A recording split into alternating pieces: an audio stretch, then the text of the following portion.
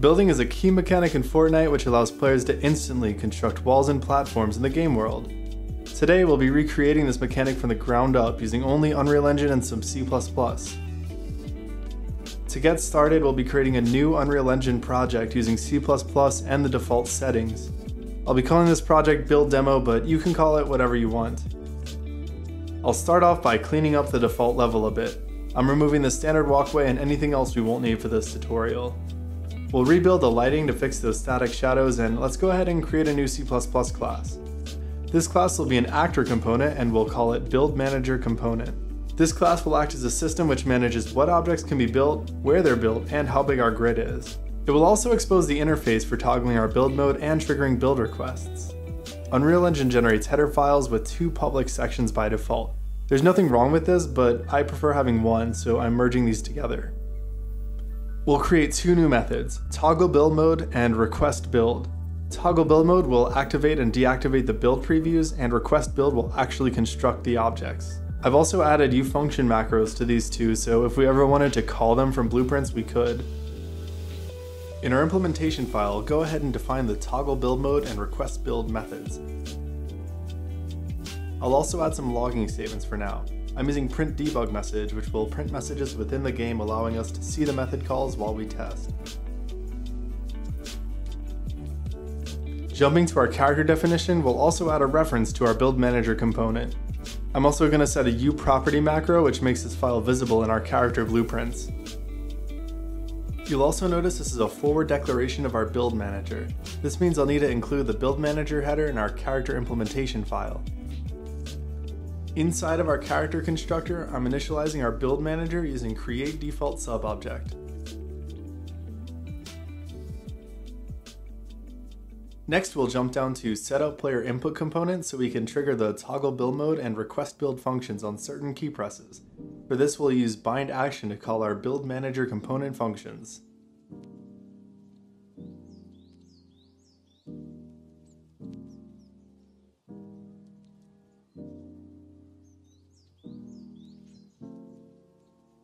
Finally, we'll head back to the Unreal Editor, jump to Edit Project Settings and scroll down to the Input section. We'll add two new action mappings using the names we define in bind actions. I'm binding toggle build mode to the F key and request build to the left mouse button.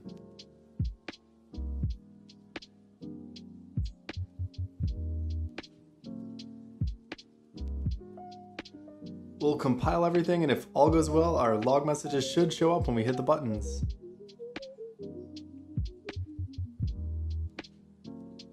Before we jump into the next step, I want to explain the logic behind how we'll implement our building system.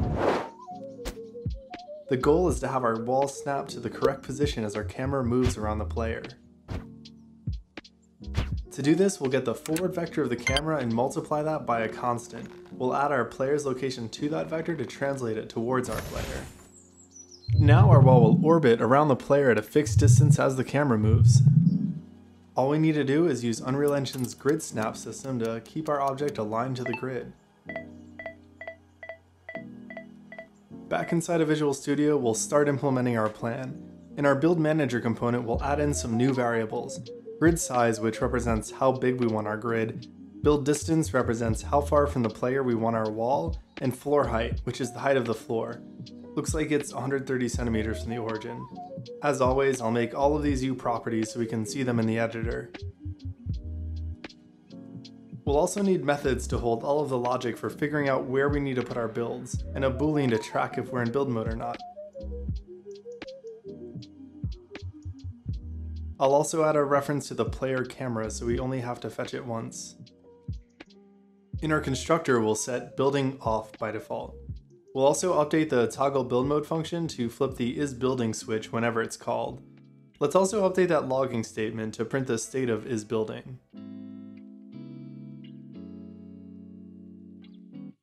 I'm fetching the player's camera and begin play. This is an optimization to prevent us from having to find the camera every tick. I'll also check if it's null, just in case. In our tick component method, I'll check if we're in build mode. If we are, I'll get the next build location and rotation. For now, I'll draw a debug box where our wall will go. I use the draw debug box method and I set the parameters so it draws the right location and rotation. This function is a beast, so I recommend referring to the documentation to better understand these parameters.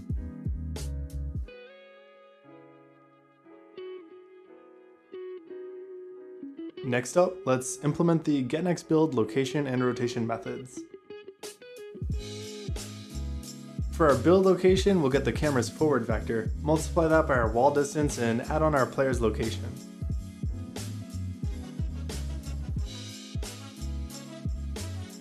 We'll return a vector with the x and y values snapped using grid snap, and our floor value to make sure the build actually gets put on the floor.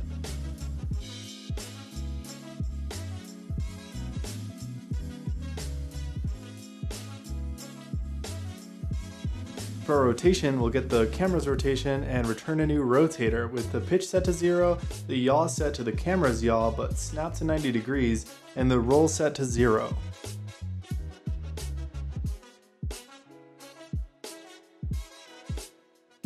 Alright, let's compile what we have and give this a test run.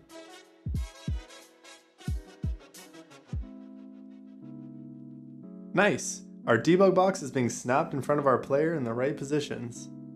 All that's left to do is set up our walls and start spawning them in.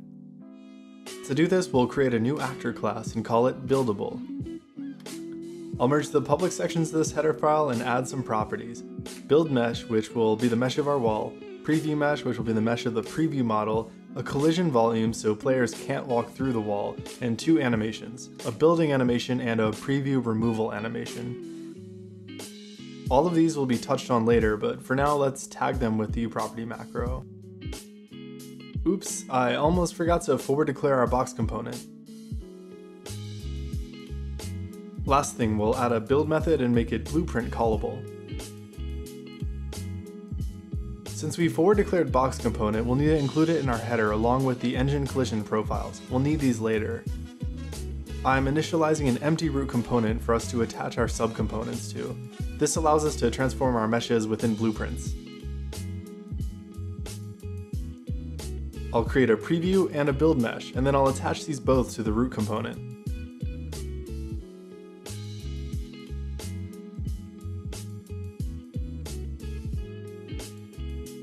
I'm also disabling the build mesh's visibility by default. We'll initialize the collision volume and attach it to the root component, but we're setting the collision profile to no collision by default. Last up, let's initialize our two animations. All that's left now is to implement our build method. We'll set the build mesh to visible. We'll also set our collision volumes profile to block all, We'll also play our build mesh animation as well as the preview mesh animation. Alright, let's compile everything and see if we have any errors. As a thank you for watching this ridiculously long tutorial, I've modeled, rigged, animated, and textured a wall object, which you can download using the link in the description. Let's walk through how to use it.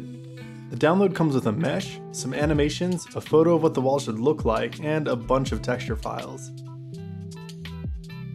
In Unreal Engine, we'll drag in our skeletal mesh file, disable create physics assets, and set do not create materials.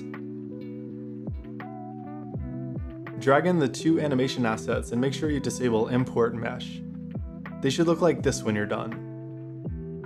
Finally, drag in that texture pack and let that import. We'll need three materials, one for the logs, one for the planks, and one for the screws. Import the texture file, a normal map, and the correct ambient occlusion file. The texture file goes to the base color and the normal map to the normal. For the ambient occlusion file, drag the red value to ambient occlusion, green to metal, and blue to roughness. You'll need to repeat this process for all three materials. I've sped this up for you.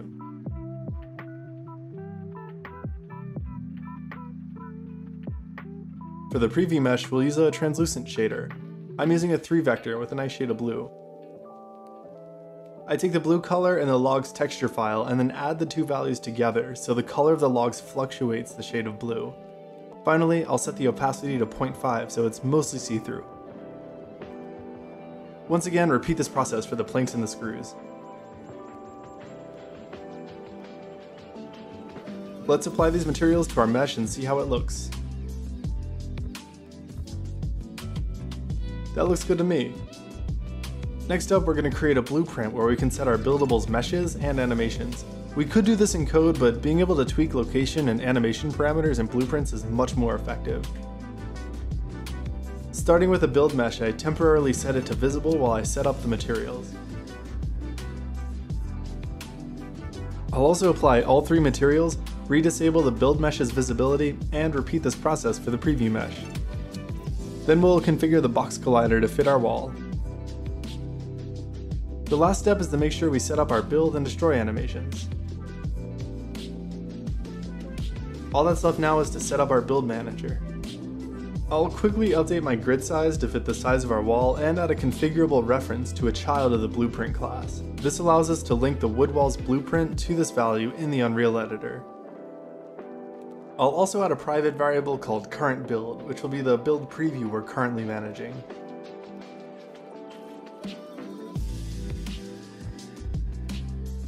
In our tick method, I'll check if the current build is null. If it is, we'll spawn a new wood wall. Otherwise, we'll just update the current build's location to be in front of the player.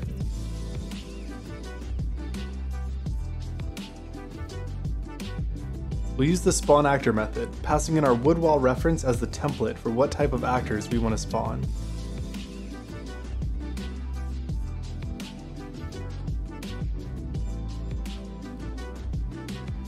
In our request build method, I'll add a new guard statement to make sure we're actually in build mode.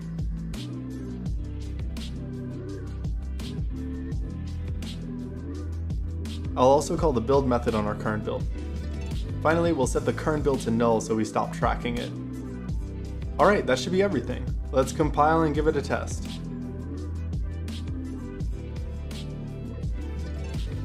Congratulations, you've just implemented the foundation of Fortnite's building mechanics. If you have any suggestions for future tutorials, please leave a comment down below.